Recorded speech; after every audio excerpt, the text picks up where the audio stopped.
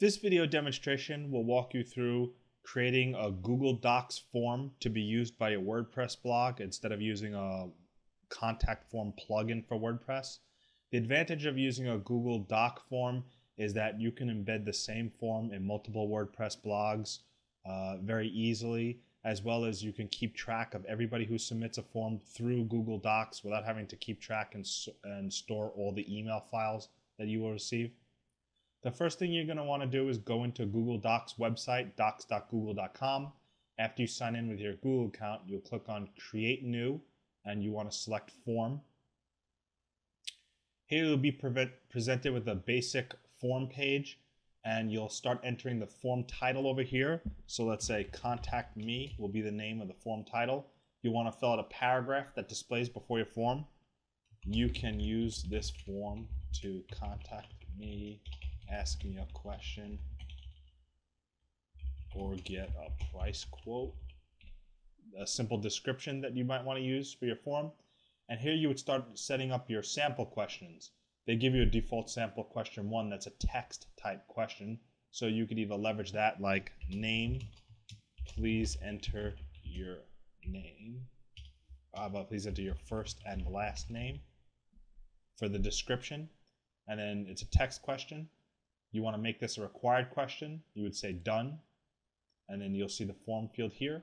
If you, at any time you want to sample to see what your form looks like, you just control click on the link down here to open it in a new tab, and it shows you what your sample form looks like so far. So for this basic test, let's do some basic form settings. So we'll do name, please enter your first and last name, and question two we'll edit with the pencil button, email, email, please enter email address. And then we'll make that a required question as well. We will add a new question, a new item, let's say multiple choice. We'll say reason for contacting. And maybe option one would be advertising. And then we'll say option two would be feedback. Option three could be purchase a review and let's just say that's an example. And we'll make that required that they have to select, or we can even do add other and their own answer as a last one. Make this required. Click done. Again, we can preview the form, see what it looks like. All right, so we've got a basic contact me form with a name, email, reason for contacting, and we can also add one more field. Let's do a paragraph text and put details, add additional details, or notes.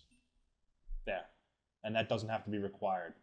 So now we have a sample form from Google Docs. Very basic white background. It asks for the user's name, email, uh, them to select a reason for contacting, and details.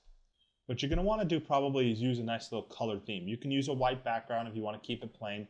I tend to like uh, using one of the themes that they have.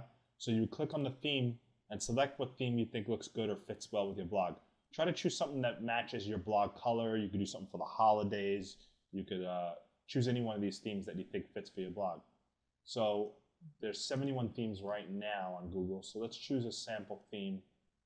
Uh, let's choose, uh, since I'm going to test on a white blog, I'll choose the grayscale theme as a test. And then I'll do another preview to see what it looks like.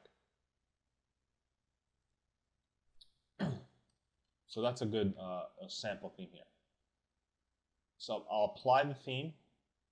Then I will, you know, look at the preview, see what the theme looks like, and that's going to be what the contact form looks like. Looks pretty good.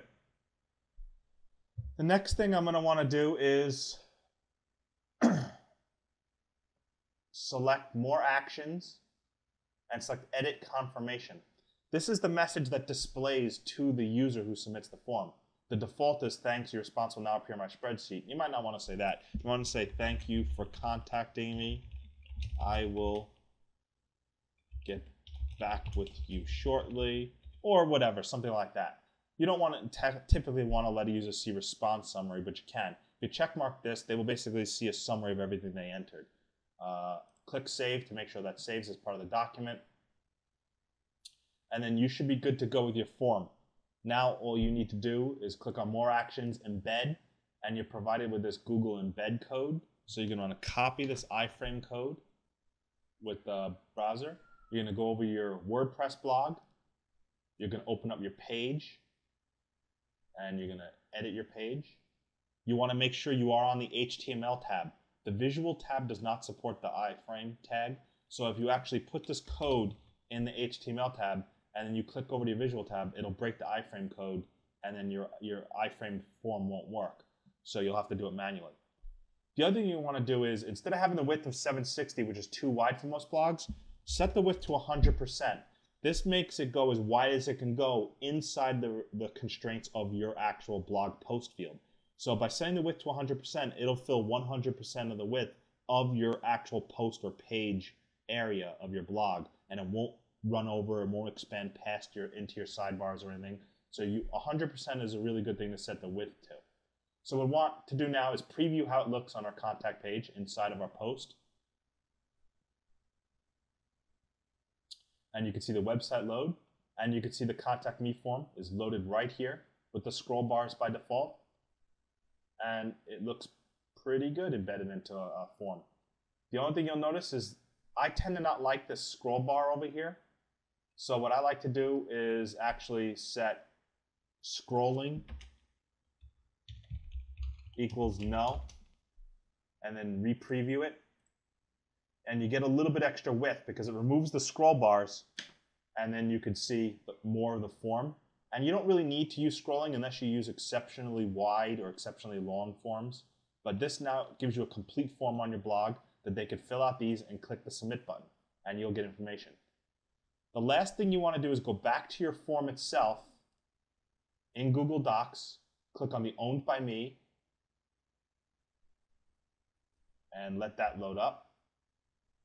And edit your new form just by clicking on it. And you want to click on Tools, and then you want to click on Notification Rules. Here you want to click on a user submits form and email me right away and save it. That way, when a user clicks on the submit button, you get an email to your Gmail account that somebody's contacted you. If you don't set the notification, then the only way you know you receive you receive form notices is if you actually check your Google Docs every day or every couple hours. So it's I like setting up an email confirmation to know when I get a Google form. The really nice thing about Google Docs it, for tracking your comment, uh, your comments or your uh, feedback or contact forms is I'll show you when I load up a previous contact form I created. You can see all the entries of users who's entered their contact information, the reason for contact, and the details, and it keeps track a timestamp of when you've been contacted. This is really good if you get contacted often and you need to keep track of it in a database. Instead of having to keep track of emails, you can easily uh, you know, keep it on record. You can right click on your document and you can um, you could hide it if you want. You could star it. You could share it so that other people can edit or view your document if you need to. Um, because it uses Google Docs, uh, it has a lot of power. If you have multiple authors via blog, you can collaborate with other people to help you run the contact form and maintain replying to people who use the contact form.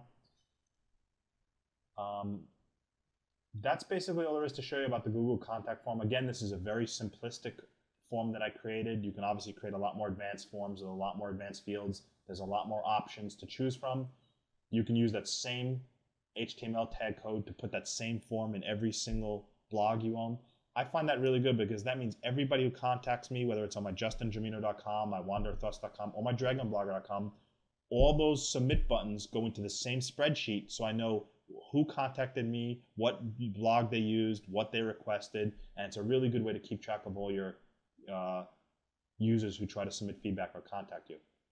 This has been a Dragon Blogger video presentation of Google Docs and using the forms in a WordPress blog. Let me know what you think. Thank you. Bye-bye.